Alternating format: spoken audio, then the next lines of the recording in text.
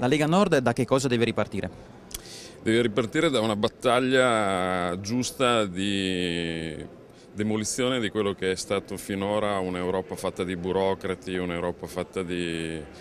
eh, affabulatori di, di, sviluppo che non c'è mai stato, ricostruire un'Europa diversa, un'Europa dei popoli,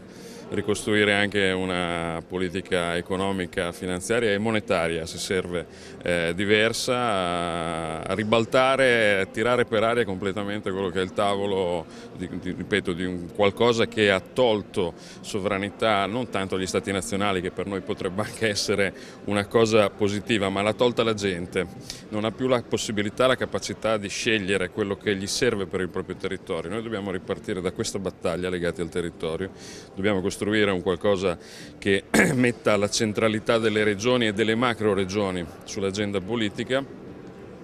e eh, arrivare a quello che è eh, il primo articolo di questo nostro movimento da sempre, cioè l'indipendenza del nord, non è che ci sono altre strade. Poi questa è la strategia, poi le tattiche sarà compito del segretario, il nuovo segretario federale indicarcele eh, e noi lealmente come sempre andremo ad applicarle sul territorio. Da deputato della Lega Nord in Commissione Esteri, che significato ha la presenza di altre delegazioni di altri paesi oggi qui al congresso della Lega Nord?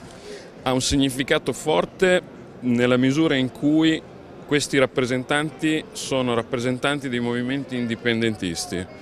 Eh, sono un pochettino più scettico magari sulla presenza di, sull'eventuale, ma poi ho capito che non ci sarà, eh, presenza di movimenti che sì, possono avere dei tratti comuni nelle nostre battaglie, soprattutto legate alla, alla gestione delle politiche dell'immigrazione, dei clandestini, ma che però sono diametralmente opposte a noi rispetto a quello che è l'indipendenza, cioè noi partiti nazionalisti ne abbiamo già troppi a casa nostra, eh, è inutile secondo me, non hanno niente da insegnarci. Forse ecco, qualcuno, certamente qualche buon politico d'Oltralpe o del genere che si è fatto valere sul piano della difesa della identità culturale legata a una questione troppo pressante